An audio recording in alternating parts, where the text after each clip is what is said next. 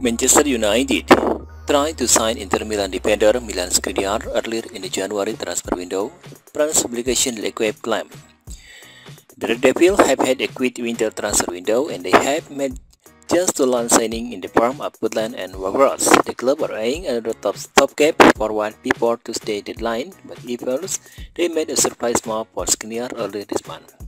The L'Equipe reveals that the tried an offensive to land the center back, but it was unsuccessful as he had given his word to Paris Saint-Germain.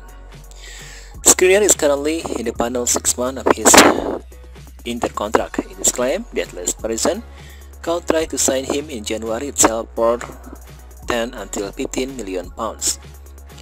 Recently covered an option that United should sign Skriniar, but it seems the defender has made decision to join PSG in January or in the summer. This is a big blow for the Red Devil, considering they have made an approach for him this month. Skriniar would have been perfect for manager Erik Ten Hag. He is, as he is a super playing defender and does not have any underlying weakness, weaknesses in his game. The Slovakian has been a world-class performer for the Nerazzurri in recent years and so proud to be a key player for the Leverkusen when he joined them.